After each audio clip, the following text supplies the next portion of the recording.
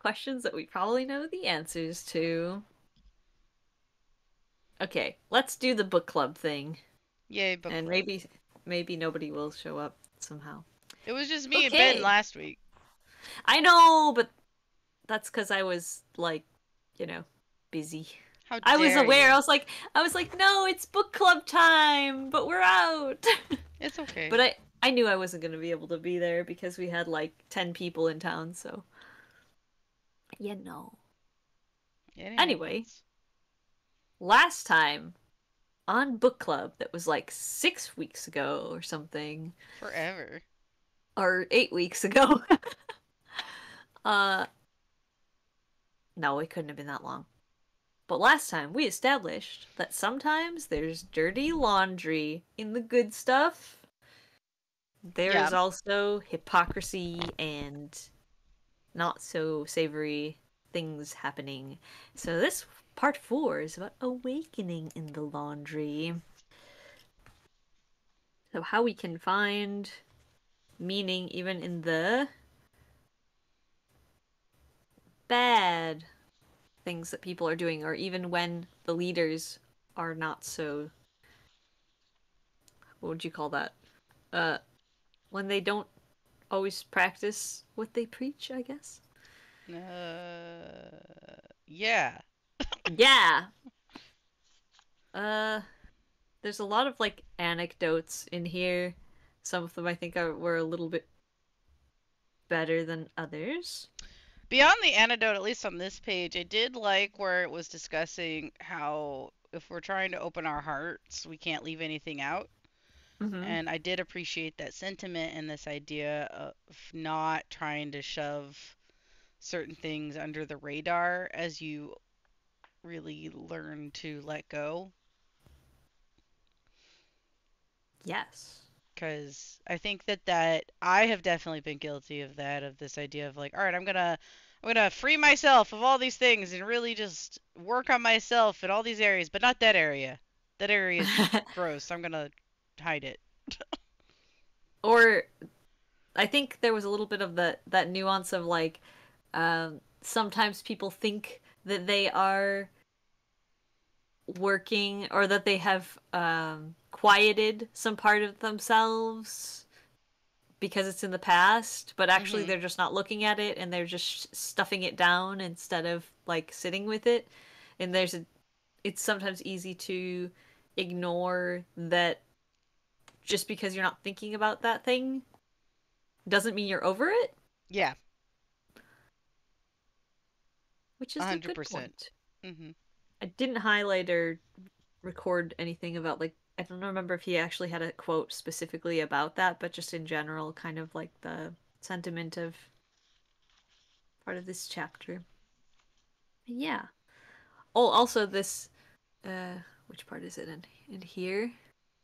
That there are s- different strengths, and that different people.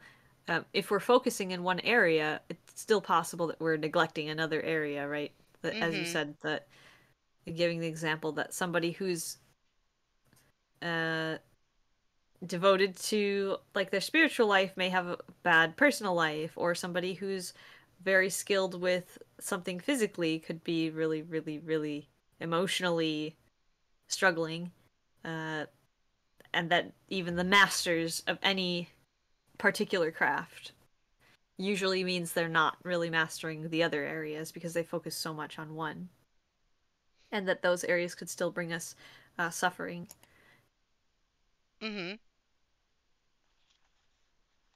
Uh, did he say? That actually, good quote from from Gandhi here. That one cannot do right in one department of life while still occupied in doing wrong in any other department. Life is an indivisible whole. Although, I thought that that quote was a little bit different than what was being said in the preceding paragraph. But I think it's still true. Like, I mean, this feels more like it's focused on if you're actively trying to do wrong in the sense of like pursuing greed or uh I don't know, pursuing like actively pursuing something that is considered to be unwholesome. Mhm. Like you're doing you're doing wrong here, then it doesn't really matter how well you're doing in this other area because it's like corrupt, right? Yeah. Versus I thought that preceding this quote, it was more on the the idea of like that you're just kind of overlooking your needs. Like you just haven't focused on it. Not that you were like actively pursuing something bad. You just kind of like let it slide or slip by the wayside over there. But still, still good. Still good. Um, then let's see. What page is this? Oh. Hello! Max has joined us. Good. Okay, I'm looking for where the quote is because I was writing I was reading this on the plane, so I like screenshotted things thinking I would highlight it, but then I fell asleep. So now I just have the screenshot of the area it is and I have to find the the sentence I wanted. oh, actually, um this at the top of this page here, I like this point that we may believe that the body or relationships or future planning or money or sexuality or family or community or politics is unspiritual, dangerous, ugly, a trap. This fear puts up walls, isolates our heart from living, divides the world so that part of it is seen as not holy. Our experiences of realization remain compartmentalized and unfulfilled, like bonsai trees, beautiful but stunted. Mm.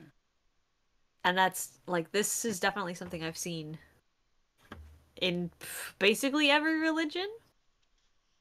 But I think a lot of people who even aren't religious kind of think about things this way. And the, just this main point of this chapter, right, was recognizing that daily life and like the, the mundane or like these things that are common across like no matter who you are, you have all of these things to concern you at some point in life. And that it's okay to have those things present in life. Mm-hmm. And there's a good like there can be a good way for dealing with them, but suppressing them or demonizing them is not the proper way. You shouldn't lean into them too much and you also should not condemn them, but rather find the middle path. For all of these things, ideally. Also here uh I'll be I- right back. I'm gonna go get on my computer. Okay. got it. I think that ties in really well with the next page. It's like um page 167. Uh, he ties it all together fairly well in this section where he says um, non-attachment and discriminating wisdom are reconciled as a whole. And so that same idea of not demonizing these things but instead finding the reconciling wisdom of how to approach them. So discriminating wisdom can set boundaries, say yes and no, stand up for justice and act for compassion. It becomes an unselfish and fearless expression of wise non-attachment. Mm-hmm. And I think we come back to that point at least a few times in other texts as well, where you're not trying to abandon everything that has to do with just being a person existing in the world, but finding ways to wisely pursue non attachment with them. Right. That there is, a, I, guess it's the recognition that there is a place in the world and in life, and in particular in spiritual life, for all of these aspects of human life. And in fact, if you're not making a place for those things, then you're probably missing the point and doing it wrong. hmm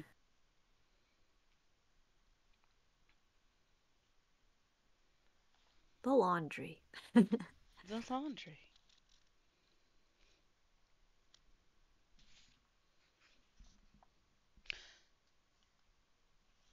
I think this book, at least these cha- two chapters, did a pretty good little job of jumping into different things and kind of untangling some thoughts. Mm-hmm. So Yeah, I feel like we finally nice. got to the point, right? Mhm. Like all of the prep we got in the first three parts of this book are now like, okay, this is what the book's actually about. Mm-hmm. We've seen the problems that people have. We've seen the benefits that they have to awakening, but then how do you actually blend it together in a way that is sustainable and productive and honest? Right. Here, actually, over here too, where he's talking about the poison tree, and that if we, if we rather than trying to destroy everything or suppress it, that we just understand and become aware of the dangers, but that maybe it also has something that is potentially useful to offer us as well. Like they said, uh, maybe you can make medicine out of this thing that is poisonous, you know. Maybe the way to cure yourself could be in the things that are hurting you, but rather Well, than And as he puts it earlier, we passed it. It can be compost for the garden. or yeah, everything that's that we think is bad isn't always evil. It's has its place as well. Yeah, enrich our garden as compost as nourishment for life itself.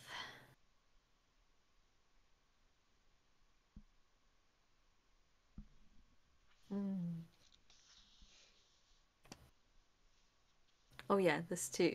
Same same paragraph. If we don't choose to look, that which is unattended will come find us. The lost parts of ourselves will present themselves, knocking ever louder if we don't listen to their cries. We end Mhm. up hearing their voices in divorce or depression, in illness or some strange failure. If we do listen and welcome all parts of the self, we will find they enrich our garden as compost, as nourishment for life itself. And that sentiment, I think, has been. I guess that's just the wisdom that, like, everybody comes to this conclusion if they've gone through it, right? They eventually figure out that, ah, it's just, it's happened, and you learn how to use it, or you let it destroy the rest of your life. Mm hmm. That's what we're doing. Yeah. Medicine for awakening. I really appreciated the next section, the middle path. Mhm. Um, I thought there was a lot of little good bits, although the very long biscuit story was interesting, but weird. The biscuit story. Yeah, he tells a long story about biscuits in, this, in the next section. Okay, wait. I'm not This is one more which- page. There it is. Oh, yeah. The biscuit. I'm sorry. I've been in Europe too long. I keep. I thought you meant cookies, and I was like, what? no. no. I don't remember a story The- about cookies. no, no, the uh, the the worst yeah, kind yeah. of biscuits. Biscuits. Biscuits. Biscuits. Yeah. Um. So if you go back before that, though, there's Uh-huh. actually good stuff on that page. I just was like, ah, the biscuit story. that stuck with me because I a very food oriented human being Hmm. and need to be less so, but here we are. I have to become reoriented with biscuits. Um, near the top of that page on the right side, I re- I highlighted it, the middle path embraces opposites. It rests Mm. between them, acknowledging both truths caught by neither side.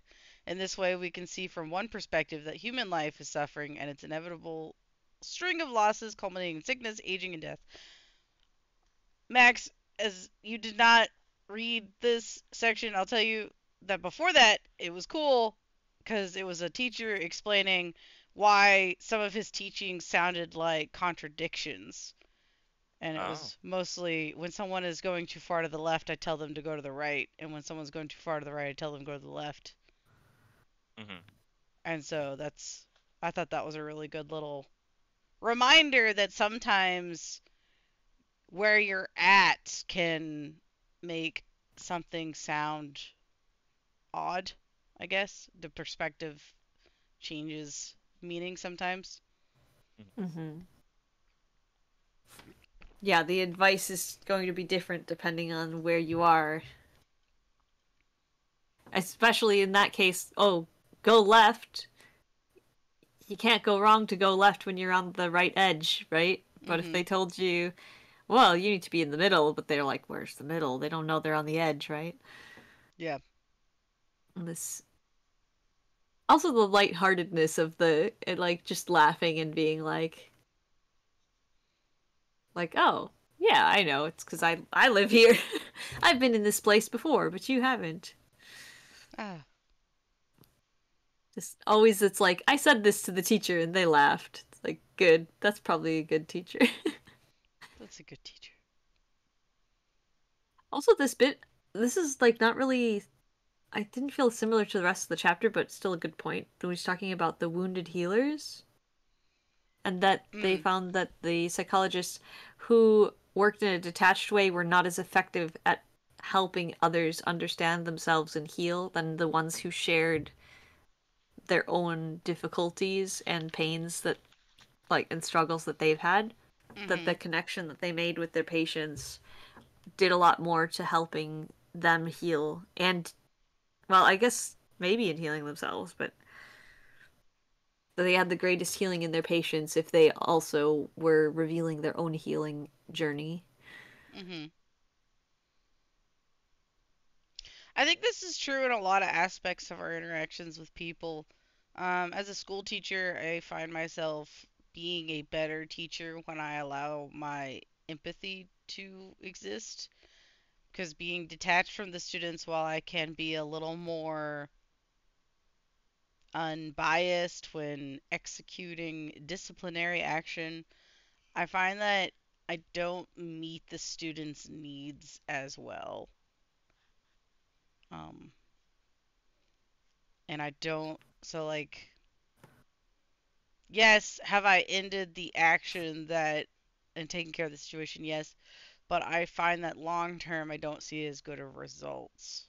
So that makes sense to me. mm-hmm.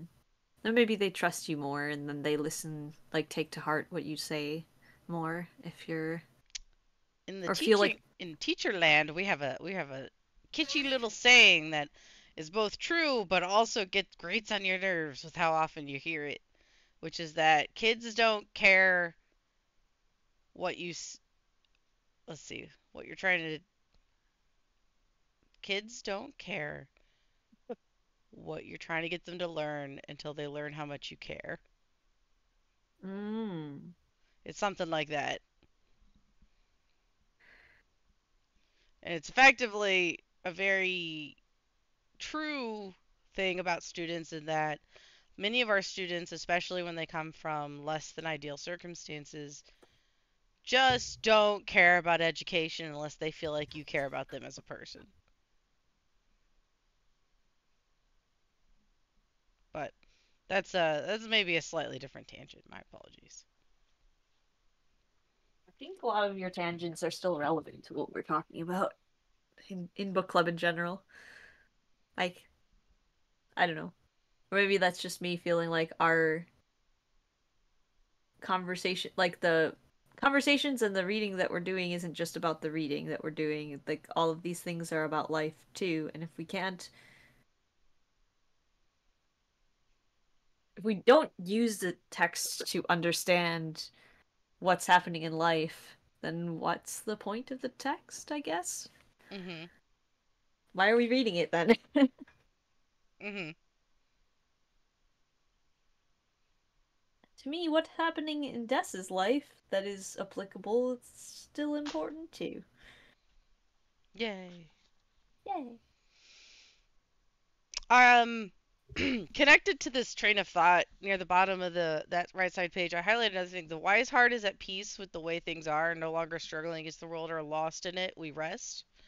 And Uh-huh. I've been thinking about uh, compassion fatigue recently, Ooh. and Yes. that finding the middle ground when it comes to not closing off myself from the realities of the struggles of my students and stuff because we have so many kiddos who are just coming from not great times and they're not they're not always to the extreme level of like gotta get cps involved but they're still not good you know what i mean Yeah. and so you just, if you let yourself, you can become overwhelmed with it. And so this sentence resonates with me as far as like letting my heart be wise about it. Not that I'm happy with the way things are, but resting in the knowledge that I'm doing what I can to make those kids' lives better. Yeah. And letting that be enough until a circumstance comes up that I need to take advantage of. You know what I mean? Until there's Yeah. something actionable I can do. Don't struggle with the emotions of not feeling like I'm doing enough, I guess. Yeah, there's always going to be suffering in the world that we can't prevent or it's not like we're not in the position Yeah. we're not the person that needs to make the change, right? Like maybe in that case it's their parent that needs to do something like be better for them or like I still want to be a good teacher to them and providing them with uh with good stuff. I just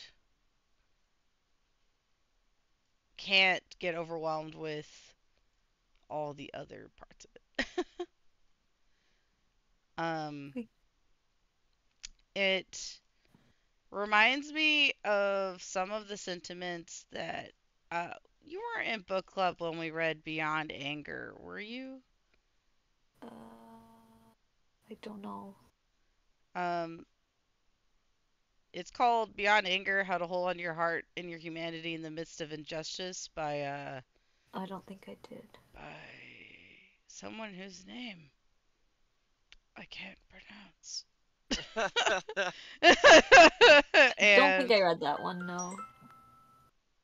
if I recall correctly, she was in oh Vietnam during all of the bad stuff that the US was doing. Anyway, I learned a lot during that book about just doing what you can. Yeah, like it doesn't actually help anybody to be to feel miserable all the time about the misfortune that's happening to somebody else. Yes. Yes. And if you live like that, then it just makes the world worse, really. yeah, exactly And- that. Thank you. You're less available for the things that you can make a difference in, right? Like if we're just stressed and miserable, and I think this is very much like the um, like activist fatigue, right? Like Mhm. you're you're concerned like you're really fired up and passionate about all these issues and you want to make a difference and you it's so wrong there's so much injustice in the world and you can be caught up in that and just live your whole life every waking moment angry and like trying to make people aware and trying to do something better but they're in reality like the majority of what you do has very little effect on any of those actual problems you don't connect with the people who are suffering Mhm. and like you yeah it's good to be compassionate but your compassion in translated into the actions that you're doing do very little if anything at all and all it's doing is making other people like your own life and other people's lives Right. that are closer to you worse because now you're not able to do anything that's going to make that actual difference in your in your actual life like you can worry about the billions of other lives that are going through something bad but you'll never touch them Mhm. And in the more people i think it's also like the more people that you're concerned about like the more you try to do as one single person without the resources to actually change infrastructure or institutions Mhm. it's just more useless like we make the most difference on a one-to-one basis unless we're unless we end up getting access to like power or money or something where Right. can make real change. A windfall of circumstance, and you're Yeah. like, suddenly, I can change all of the things. or i mean or if you happen to have been born into like a wealthy family that you know you have money to start charities and like go make Mhm. things happen with the money then okay maybe like okay you're an heiress of disney and you're putting your money into making things better in certain parts of the world okay that's actually making a tangible difference yeah but otherwise i mean i guess even in that case if you spent all day every day just being like emotionally drained by the suffering of the world, you're still probably not going to make as much of a difference as you would have otherwise. Mm-hmm. So, sort of maybe counterintuitive to the way that a lot of people think being younger, but Mm-hmm.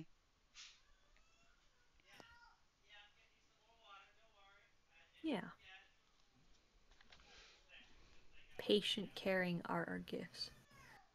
Understanding humility and patient caring. Yeah. Not to force a jump too far ahead, but at the top of chapter 12, I really liked the opening sentence. Before enlightenment, we have to live in our body. After enlightenment, we still have to live with our body. Yes. Yes. This chapter I felt like, oh, yeah. I I need to do this. I need to do better. I mean, some of it's like I I really felt that like hyper focus into one area, but then at the sacrifice of another area, right? And especially for my body, like I burnt myself out way too much like a decade ago. I'm still dealing with it. I mean, part of it's also health issues and that I don't think the health issues were Girl, caused by that, but they're there anyway and making it harder. But if I hadn't burnt myself out so much, then maybe those things wouldn't have been as bad. Or like maybe Uh, by now I would have been I have similar A lot better. reflections, so my deepest empathy. I'm like, oh, if only I had been kinder to my body.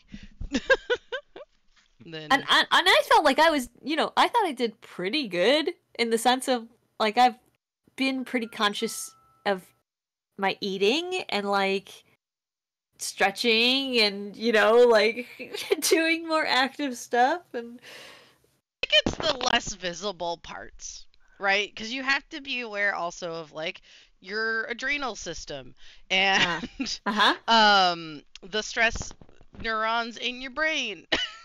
like it's not just the physical, but all of it that comes together in the hardwire of our little brain place and all the other little doodads of the system that I think that personally for me as I I'm like, oh, empathy on this is that I really wish I hadn't pushed my adrenal system and stressors the way that I did. You know? or like I- every time that you go I'm just going to do one more thing. I'm just going to do this one more thing. Right. Instead of taking care of myself and saying, you know what, I deserve, I, I can, I can have some downtime. Maybe it's good if I go to sleep and not just keep working. yeah, exactly. Yeah, but just compounded over many years of. And the way that, like, I mean, another thing too. This is talking here in this chapter about a lot of the religious side of it. Of oh, religions that are getting it wrong and how it's affected people that they're neglecting one area or another. But I think that's also even just in like a layman's cultural sense too like in america especially we which i'm, I'm more uh, attuned to it now that i've spent more time with europeans and very different work culture. But we have such a such a, a sense of urgency. Like the thing we have to do for work is it needs to happen now. It's the most important thing in the world. And everybody just like rallies around these task lists and metrics and like all the stuff that we we're supposed to care about this and we need to do this. And it, it's like people get so stressed all the time and there's it the list never ends. Like you've never there's never a point where you don't have anything that could that needs to be done if you're doing well right? Like the better you're doing the more things you have to do and nothing's ever enough. There's always going to be more. No matter how good a job you did on that there's still more stuff to do and there's never enough time to do it. And the and then people get off of work and they're still thinking about work but then they don't have time to do all the other things and it just gets wilder and more hectic chaotic the more children like the older people get until they retire and then i guess they have time suddenly magically. Wow. But we live in a culture like a society and the culture of the society is one that it's just like you should care about these things, but then you know, you ever feel like that and then quit a job and then realize how little any of that stuff actually mattered at all? It is one of the single most largest reasons I, as a teacher, do not bring any work home. Unless it's literally, hey, that looks neat, and then I save the bookmark to look at for later from the internet. uh huh. Um, I personally, I don't bring home lesson planning. I don't bring home projects to get ready, unless I am jazzed, like it energizes me kind of project. You know what I mean? Yeah. Yeah, yeah, you're really passionate about I'm it. you passionate. I'm like, do oh, I love doing this. This is gonna be so cool. But I don't do anything that's like, oh, this got to get done. No, that can wait till I'm being paid.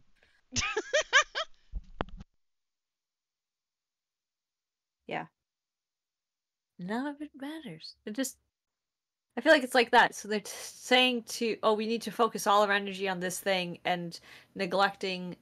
I mean, it's very short sighted and short term. Like, we're neglecting our bodies, we're neglecting our minds, we're not managing our stress, we're not managing our, like, physical well being because we're putting everything into one area and when you're surrounded by other people who are living like that too it's encouraging us to act that way as well and like it's sort of uh i don't know if it, you can really say mob mentality but kind of seems like that. Like you're around people who are concerned about these things and then you are more likely to feel that stress and energy and be concerned with those things. And if you're around people who see it a little bit better it'll be easier to be like them too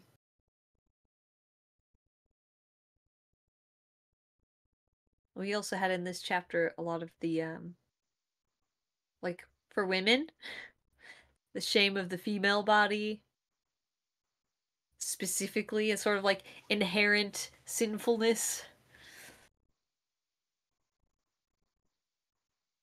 And how that was like like the nun saying that reinforced deeply reinforced her own inner shame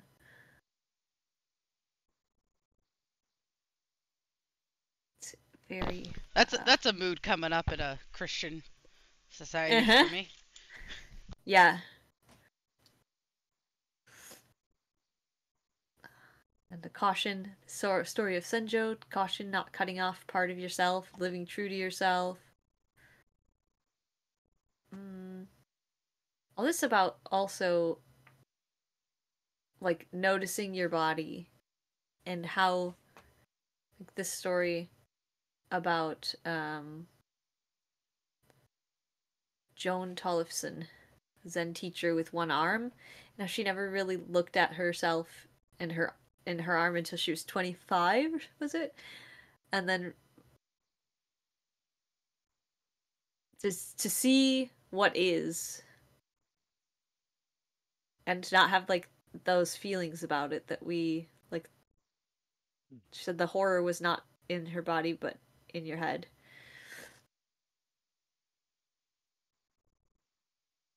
And if we just like really the cost of not looking is greater, he says. it may be painful to look closely, but the cost of not looking is greater. Not looking brings a loss of feeling and connection with ourselves and this earth, with our very human life. It engenders a loss of our innate and instinctive wisdom.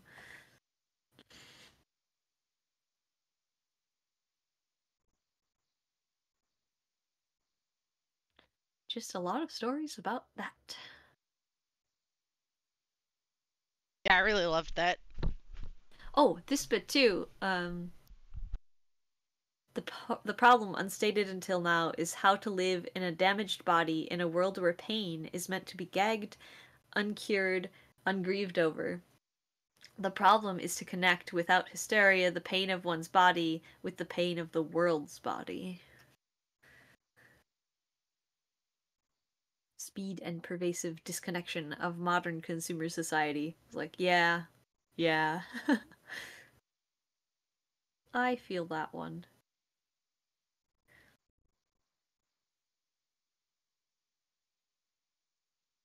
It's like the Mm-hmm. body being reduced to like productivity alone.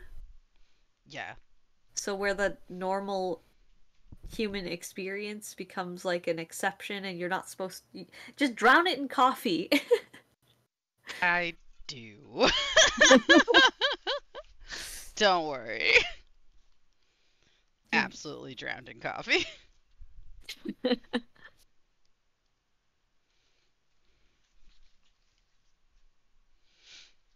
No. Um, you're right though. I and I reflect on that occasionally of like how much is my desire to push harder coming from the actual need to do so versus some magical thinking idea that if I just push harder, I'll be worth more.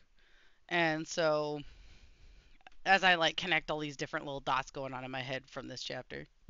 Mm-hmm.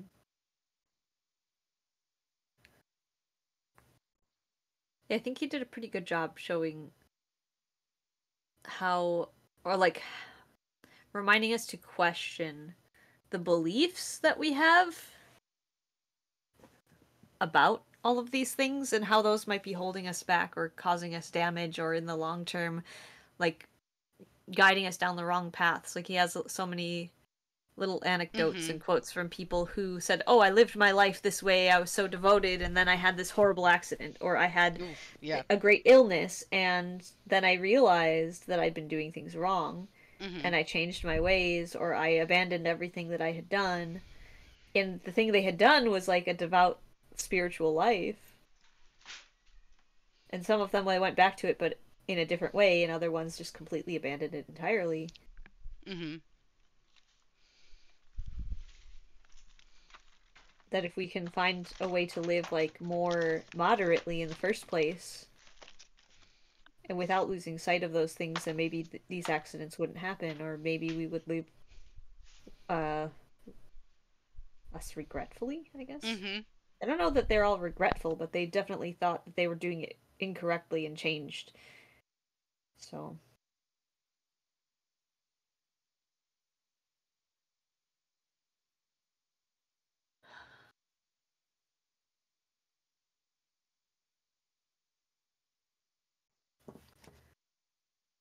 here. Um, if we are to become whole, we must reclaim the body, holding even its pain and limitation as our own. Yes. Oh, yes. And then embodied enlightenment, talking about embodied enlightenment. So being aware of this because we so often neglect the body that we need to actually pay more attention to the body and not pretend we don't have one. But I love pretending I don't have a body.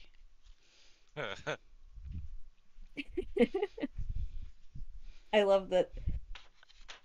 Just uh, Max just Max, Uh, not offering anything, just a slight then giggle. laugh. Yeah, Just- this is the contribution today. Is the giggle. yeah. Good one.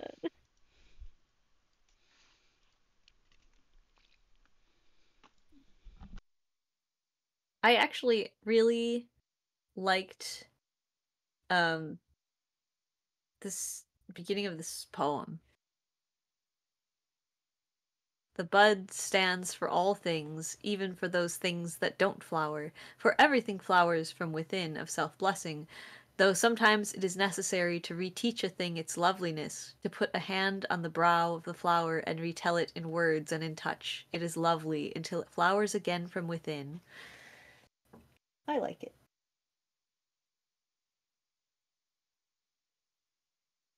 Sometimes we forget.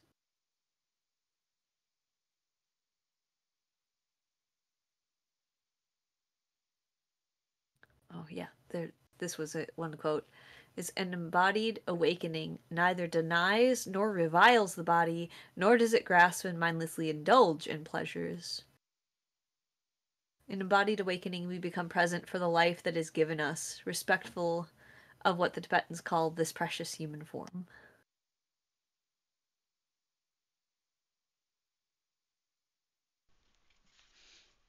yeah. Yeah.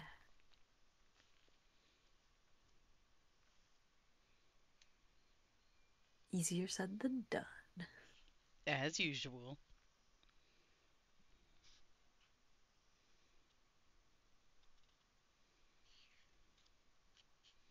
And then talked about a, a lot about sexuality and people going to one extreme or the other because they haven't figured out how to like navigate it well.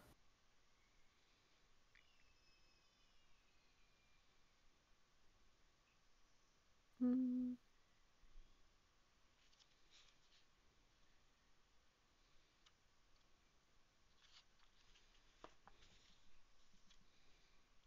Yeah, just mindfulness, I guess, is what the rest of it kind of comes down to. It's just being aware of your body, living in your body, not neglecting your body.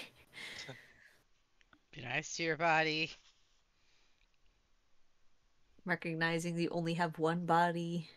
You need your body to do the want two? laundry. Too bad. Too bad. You get one. Oh, I'll Don't be never go greedy. middle path.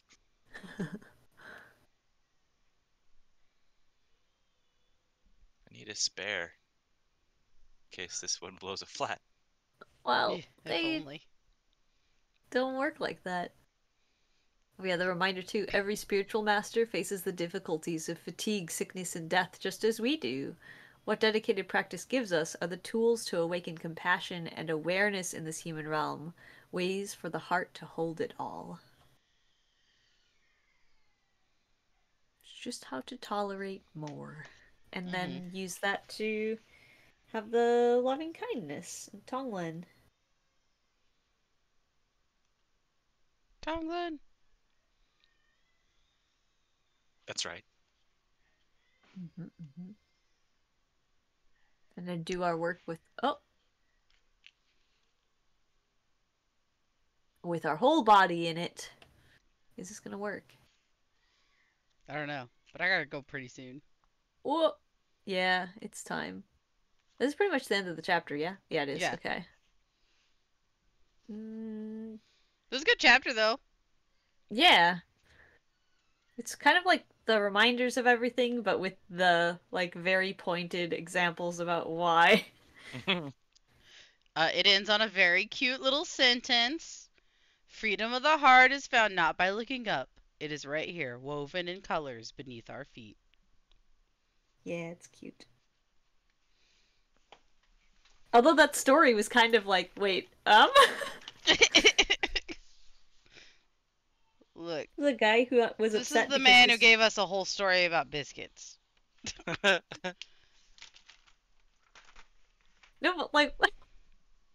In one Middle Eastern story, a man falsely identified as a criminal was put in prison. His friend visited and left him a prayer rug. The prison went prisoner went angrily back to his cell. He had hoped for a hacksaw or a knife, and all he'd gotten was this rug. But since he had it, he figured he might as well use it. So he started bowing on the rug to pray.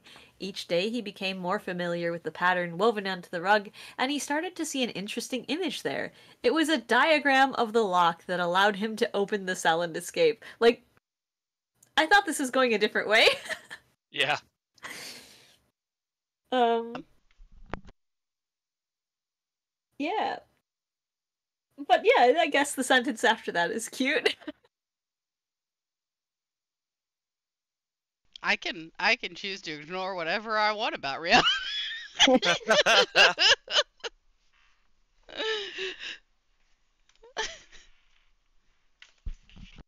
like, wait, wait. But yeah, good chapter. We're getting into the, you know, real substance of the title and such. So, Good job, go team. did it. yay! We did it. It's We did noon. it.